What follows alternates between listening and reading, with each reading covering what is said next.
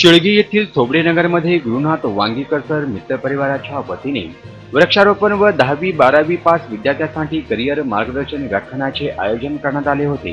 यावेळी दहावी ते बारावी उत्तीर्ण विद्यार्थ्यांचे यथोचित सत्कारही करण्यात आला आहे. यावेळी शासकीय तंत्रनिकेतन सोलापूर येथील इलेक्ट्रॉनिक्स विभाग प्रमुख किरण कुलकर्णी यांनी विद्यार्थ्यांना करिअर मार्गदर्शन केलं आहे. या विद्यार्थ्यांना तीनशे विभागात प्रवेश उपलब्ध आहेत.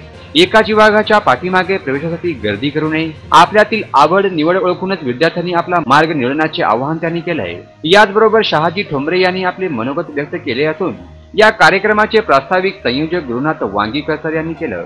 तर सूत्रसंचालन दुलंगे यांनी केलं आहे. या कार्यक्रमास किरण कुलकर्णी यांच्यासह गुरुनाथ वांगीकर सर शहाजी ठोंबरे वैशाली तोटी शलाका कुलकर्णी बाबासाहेब थेंबी यांच्यासह अनेक मंडळी मोठ्या बहुसंख्येने उपस्थित होती. ही बातमी वृत्तसंकलित केली आहे लोकप्रधान न्यूज चॅनलचे दक्षिण सोलापूर तालुक्याचे प्रतिनिधी नारायण घंटे यांनी.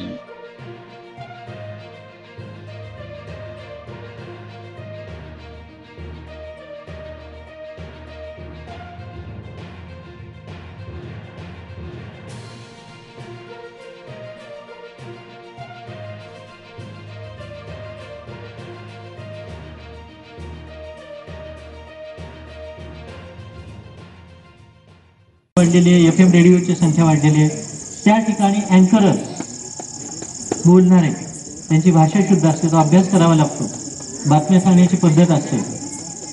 ते मास कम्युनिकेशनसाठी सुद्धा फार मोठ्या प्रमाणावर गरज आहे. म्हणजे जे गॅदरिंगमध्ये गाणी म्हणतात जे इतर वेळेस मित्रांना भले भले मोठ्या गप्पा मारत असतात बाता करत असतात. परीक्षेच्या वेळेला लपून बसतात कुठेतरी.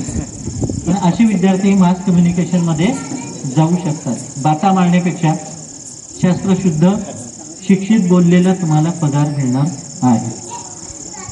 आणि आणखीन एक महत्त्वाचं क्षेत्र हल्लीच्या काळामध्ये त्याला हे चांगलं त्याचं नाव आलेलं आहे ते म्हणजे मिलिटरी. मिलिटरीमध्ये जाण्याचे अनेक मार्ग. आता दहावी अकरावी बारावीमध्ये तुम्ही एन डी एची परीक्षा देऊ शकता. सहावी सातवीला तुम्ही सैनिक स्कूल सारख्या ठिकाणी ऍडमिशन घेऊ शकता.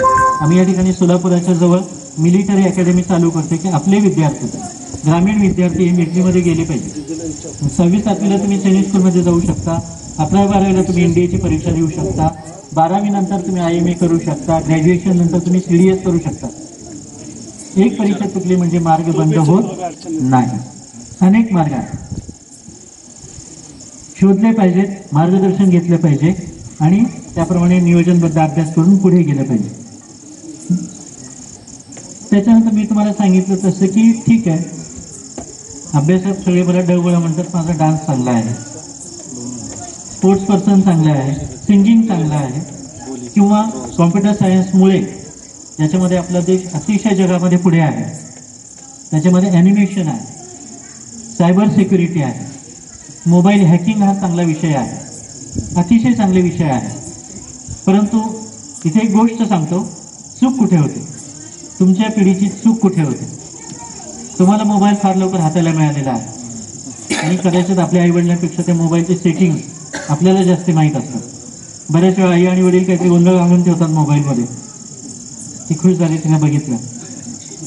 तेव्हा मग सर आई आणि वडील आपल्या हातात मोबाईल देतात. हे जरा ओके करून दे. तुम्ही लगेच कटकट कटकट कट ते सेटिंग बदलून मोबाईल ओके ओके करून देतात आणि त्या क्षणी आपल्याला वाटायला लागतं की मला माझ्या आई वडिलांपेक्षा जास्त अक्कल आहे. मी माझ्या आई वडिलांपेक्षा जास्त हुशार आहे. आणि तिथून पुढे आई वडील अनुभवी माणसं जे काही सांगायचा प्रयत्न आपल्याला करतात आपण त्यांना उठवून लावतो बरोबर आहे? परंतु हे मी तुम्हाला सांगतो तुम्ही जरी त्या सेटिंग्स करून तुमच्या घरचा मोबाईल तुम्हाला ओके करून दिला तरी तुम्ही अजून